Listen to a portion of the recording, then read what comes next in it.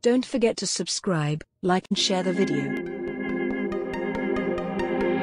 Thank you for watching Make It Easy Education.